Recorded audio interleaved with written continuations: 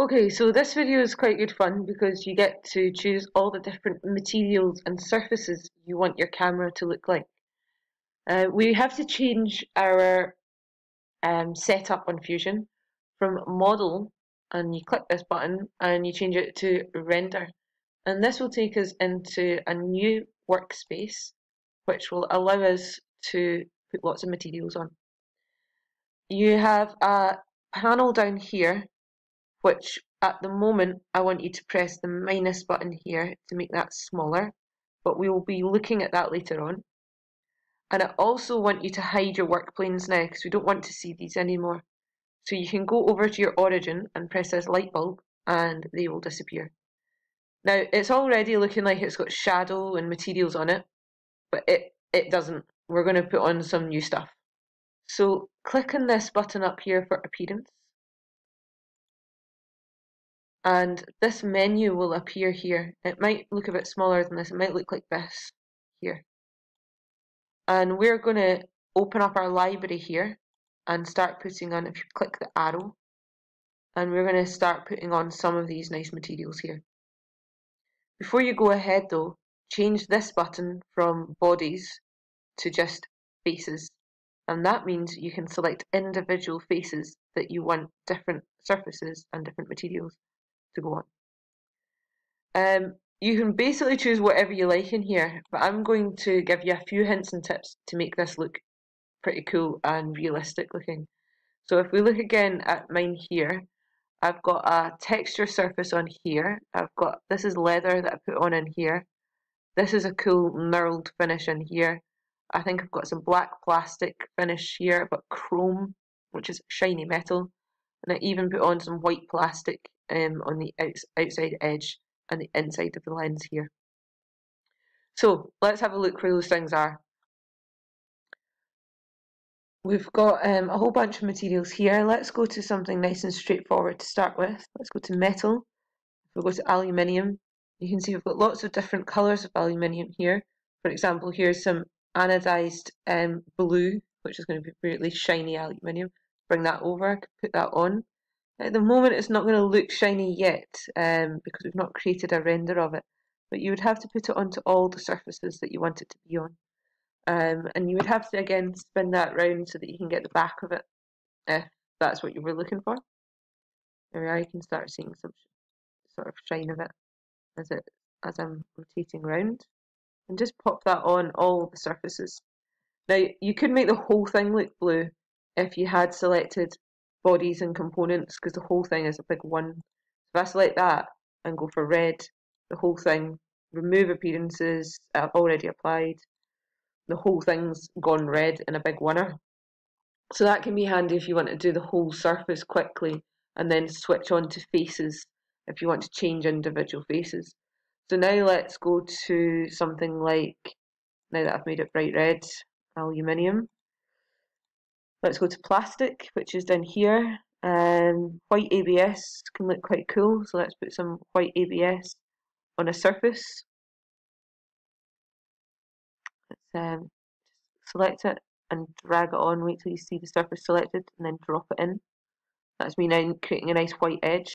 And I've got in here, if I click opaque, I've got like there's a glossy black plastic. So I could pull that into this little edge in here going to be dark. Maybe I'm going to pull in a little bit more ABS into this bit here and you can see the front of my lens now has got a zebra effect. But do be careful because if I zoom right in here, you'll notice that there's still a red surface that I've not actually got yet. So let's uh, make that black, dragging some black in there. And I'm going to have the same one over here. So you actually have to be quite careful if you're doing this face by face that you actually catch all the little edges that you want. This will all look good in your final render. Um, now it's completely up to you what you do, but I will show you in here. If you go to other, you've got fancy things here. Like there's some carbon fiber, and that is, I think, the surface that I used for the front of my camera because it gave it a nice texture. But if it has an arrow next to it like this, that means it's not yet downloaded. So you just click the arrow it will download it into your um, library and then you can drag it over and uh, put it on and you can see that cool like carbon fibre texture now coming in here. I'll put on another texture up here for you to see. Um, this time I'm going to go into metal. I'm going to select aluminium.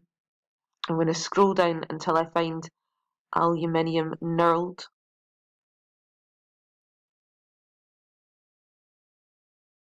There it is right there. I'm going to drag that on to this surface here. Now, a knurled texture is when you've got a gripped surface on it, but this knurling that I've put on is a bit too big, These triangles that have appeared. So all the materials that you put in, they all sit up here if they're in your design. And you can edit them. So you could actually change that colour. If you didn't like red, you can right click it, you can edit it, and you'll be able to change it to orange. But if I'm not interested in the red one, I'm interested in this knurled one. I'm going to right click it and select edit. And it will allow me to make those triangles a little bit smaller. So I can drag this down and make create a more realistic gripped surface in here. Now this is going to look great when I uh, come to render this. Um, as you can see, if I show you the picture here, oh, there we are, you can see that um, reflection there on the knurled surface. There's leather in the materials one, that's what I did on that surface there. Um, but I'm also going to make this, uh, you don't see it in this picture, I'm going to make this shine um, like it's got a flash in it. This will be the last thing I show you. Um, if you want to make something look like it's lit up, um, like it's shining a light on you, if we go over here and I'm going to select other and it is under emissive. And these materials here it says like it's a display an LCD display.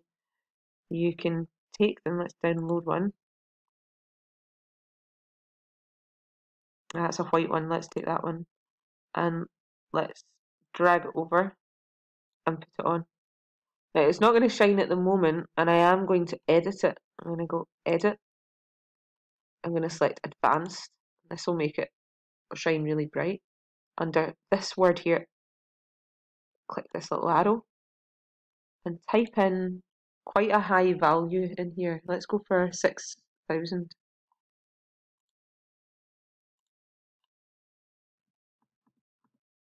Press return. And you can see now that that is looking like it's much brighter. Press apply. If you think it's too bright later on, you can go back and edit it and make it less shiny. Um, let's close this. So I'm going to um, take some time to make this look like I want it to do with my different materials. My word of advice is don't do too many different colours. Try and make it look realistic in terms of um, something you would see in a real product.